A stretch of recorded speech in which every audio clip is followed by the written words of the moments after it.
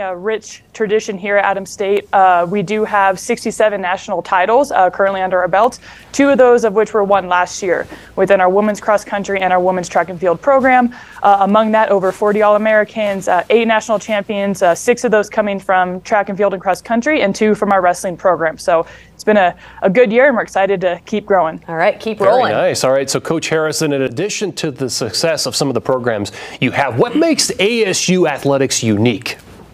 Um, I think what makes any place unique uh, or any university or school is I think it's kind of a, a twofold question. First of all, I think our location here at the in the San Luis Valley, um, many things to do outdoors and to go see for student athletes and people from uh, different um, parts of the country, but also from Colorado. And then two, um, the people, the people in the San Luis Valley and, and Alamosa and around Adams State University um, make this a unique place. And so it's uh, awesome to come to work here, uh, to be around the community and um, engulf ourselves in the community.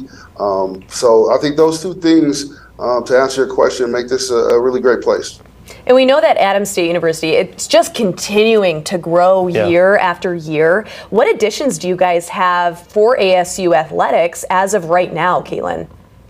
Yeah, we've been uh, very fortunate to add um, quite a few upgrades and additions to our facilities, uh, with that including a new, brand new football field turf, uh, a new gym floor, a new softball field turf, and just other enhancements throughout the throughout the facilities, throughout the building, to try to make sure we're up to date and giving the providing the best for our student athletes. You guys are on top Yeah, of it. Oh my gosh, that's a lot for one year. Jeez. So what are you uh, both most proud of when it comes to representing Adams State and the progress it's made for student athletes? Um, I'm most proud of, uh, you know, obviously the student athletes that we get and see them come through or, or come to us as an 18 year old um, and then leave with a degree. Um, so the graduation days are my favorite. And so I, I think, you know, being able to interact with the people that I work with every day, but also the student athletes um, and being able to watch them compete uh, at what they love to do. And then ultimately seeing them graduate, I think that's what makes me most proud. And you know what, Coach Harrison? Oh, did I interrupt you? I'm so sorry. Go on. No, you're good. you are good. I got excited because you guys have a big game coming up this weekend. By the way, go Grizzlies. We're Team Grizzlies here, Yeah, here yeah, today, yeah, this morning. go. But big, huge game this weekend. How do you guys feel? Are you ready for it?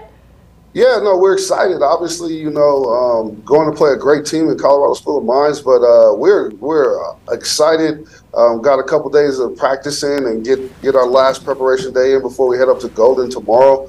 Um, but we've got a great opportunity in front of us. I'm playing a great conference, but our guys are excited um, to for for Saturday to kick it off um, against Colorado School of Mines. So we can't wait. Go Grizz! All right. Yeah, big game. We have some School of Mine fans in the studio, too. So, you know what? They're giving us the eye, but we're, we're Team Grizzlies. Yeah, yeah, let's go. Thank you so Thanks, much guys. for coming in studio virtually. We're going to give folks some more information, begin your great story, and find your place at Adams State University. Learn more online at adams.edu or give them a call 719 587 7827. Make sure to check out the tailgate party for the football game against the School of Mines. It's happening this Saturday, September 16th at a whopping 10 a.m. in the parking lot of the School of Mines football field. We want to say thank you again to Adams State University for sponsoring this segment. And go Gri- Grizzlies. Yes. Right